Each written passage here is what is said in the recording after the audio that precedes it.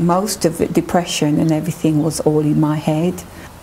I just felt, oh my God, I didn't know what to do because I never knew about Mind or anything like that. I had a bereavement in December. My sister died, and she was the one that brought me up after my parents died. I was quite young, they, they died within nine months of one another. When you're sick, it, I think you look at life different. I felt extremely anxious, quite alone, um, unable to deal with things, and I was losing interest in things that I enjoyed doing because I wasn't spending time with my friends and family. I just wanted to drive my car into the wall. I just couldn't face going on much longer.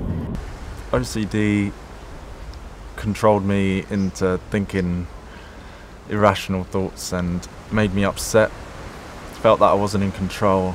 I was totally withdrawn from a lot of things.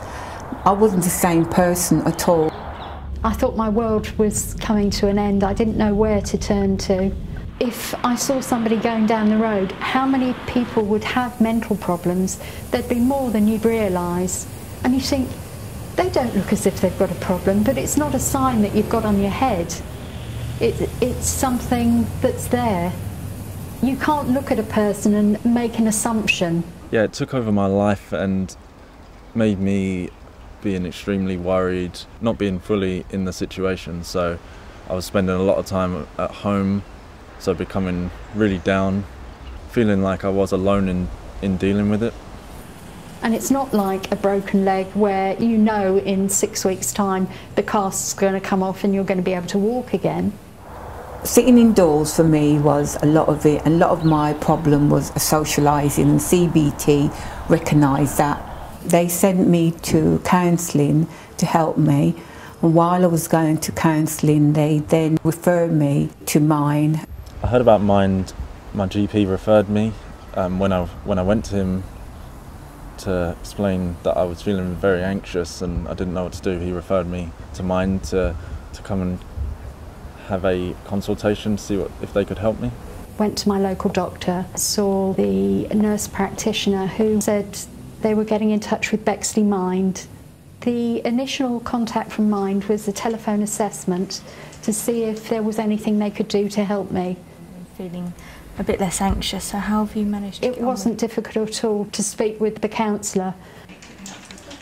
The appointments were made and I found them so good to deal with with their experience of dealing with so many different types of anxiety, stress, etc., mental health problems, the counsellor showed a lot of empathy and understanding. She treated me as an individual. She treated me with respect. It wasn't sort of a teacher pupil thing, it was somebody having a discussion, somebody who wanted to help me. It wasn't judgmental at all. There was empathy there it's a process, but it's a personal process.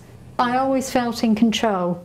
They seemed to understand how I was feeling and they asked me questions that would identify the problems that I was having and what we could do to come up with some solutions. They then identified how appropriate it would be for me to have CBT on a one to one basis, and then I attended workshops to prepare me for this. They find out who you are, what you are, and what we can do to help you. They measure everything bit by bit and then fix it. From your head to your toe, they look after every part of your well being. If it wasn't them, I probably would be dead by now. Well, they gave me my life back. I can't tell you how that feels. When I used to walk down Bexley coming down here, I used to feel like I'm in a bubble, but now that bubble is gone and I can actually see the beauty around. If I look back nine short months where I was then to where I am now, my life is where I want it to be. I feel like I can achieve some of the goals that I want to achieve and that, that OCD isn't the main part of my life anymore all the things what mind put together, it helps me to feel happy in myself, more confident in myself. Is local and it's convenient. It, it's reassuring to know that uh, that is actually in the community. Oh, I I, I, you couldn't pay for that. You couldn't have, there's not enough money in the world to pay for something like that. I see myself having a bright future now. Um, I can go and do the things that I want without obsessing over my worries. I haven't been back to see the doctor. Mind has replaced all that. Um, I don't know where it would be, where I would have to go.